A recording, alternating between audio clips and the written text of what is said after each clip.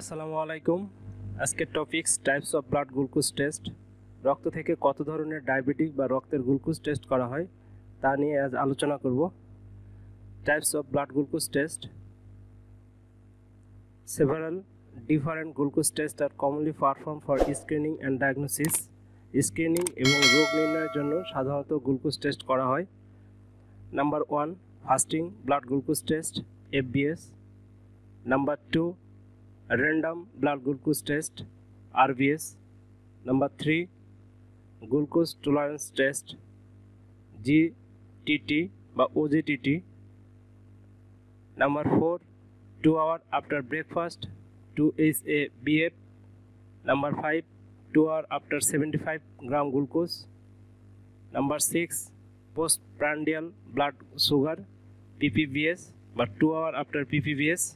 রক্তের diabetic test বা blood গ্লুকোজের লেভেল দেখার জন্য আমরা কোন টেস্টের জন্য কখন স্যাম্পল দিব number one fasting blood glucose test বা এফবিএস এফবিএস এই পরীক্ষাটি করার আগে অন্তত আট ঘন্টা খালি পেটে থাকতে হবে আট ঘন্টার মধ্যে চা কফি বা কোনো ধরনের ড্রিঙ্কস পানি ছাড়া আর কিছুই খাওয়া যাবে না চাইলে পানি খেতে পারেন আট ঘন্টা না খায় থাকার পরে এই টেস্টের জন্য সকালে ব্লাড স্যাম্পল দিতে হবে number two random blood glucose test বা আরবিএস এই টেস্টের জন্য আপনি যে কোনো সময় রক্তের স্যাম্পল দিতে পারেন আপনি যদি সকালে খেয়ে থাকেন দুপুরে বা চারটায় বা পাঁচটায় ব্লাড স্যাম্পল দিতে পারেন দুপুরে খেয়ে থাকলে আপনি তিন তিন চার ঘন্টা পরে মানে যে কোনো সময় আপনি ব্লাড স্যাম্পল দিতে পারেন এই টেস্টের নির্ধারিত কোনো সময় নেই যে কোনো সময় আপনি ব্লাড স্যাম্পল দিতে পারেন number three glucose tolerance test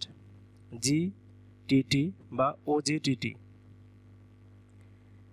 এই পরীক্ষাটি করার জন্য সর্বনিম্ন আট থেকে বারো ঘন্টা খালি পেটে থাকতে হবে পানি ছাড়া চা কফি বা কোনো ধরনের জুস খাওয়া যাবে না নির্দিষ্ট সময় পরে রক্ত নেওয়ার আগে আপনাকে নির্দিষ্ট অ্যামাউন্টের ব্লাড মানে গ্লুকোজ পানির সঙ্গে মিশিয়ে খেতে হবে খাওয়ার পরে তিন থেকে চারটি ব্লাড স্যাম্পল দিতে হতে পারে three types of oral glucose tolerance test তিন ধরনের ওরাল গ্লুকোজ টলারেন্স টেস্ট হয় number one two hour test adult two hour test child two hour test pregnancy অ্যাডাল্টের ক্ষেত্রে eight ounce solution with seventy five grams of sugar eight ounce solution মানে হচ্ছে দুইশো পঁয়ত্রিশ ML district water sorry দুইশো পঁয়ত্রিশ ML ওয়াটারের সঙ্গে পঁচাত্তর গ্রাম sugar mix করে খাওয়ার দুই ঘন্টা ওয়েট করার পরে ব্লাড স্যাম্পল দিতে হবে blood drop before drinking and two hour after দুই ঘন্টা পর ব্লাড স্যাম্পল দিতে হবে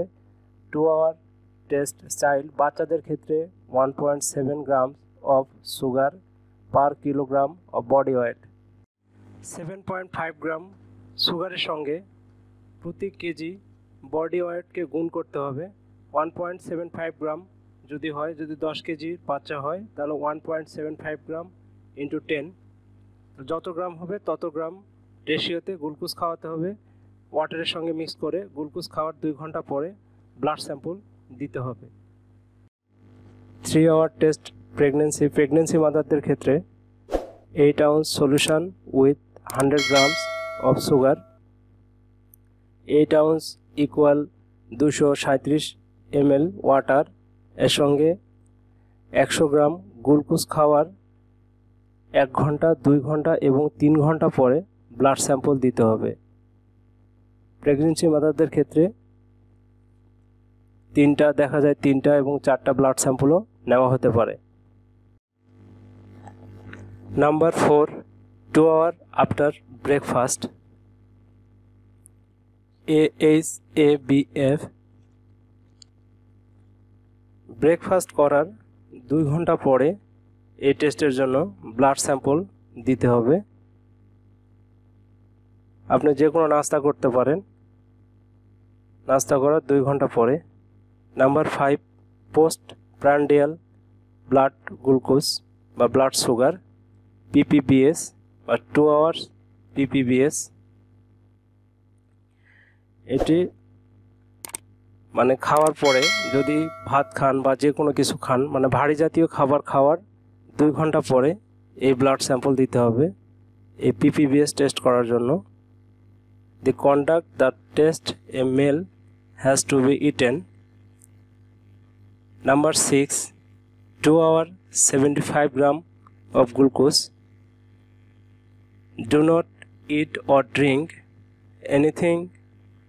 for eight থেকে আট থেকে চোদ্দো ঘন্টা খালি পেটে থাকার পরে মানে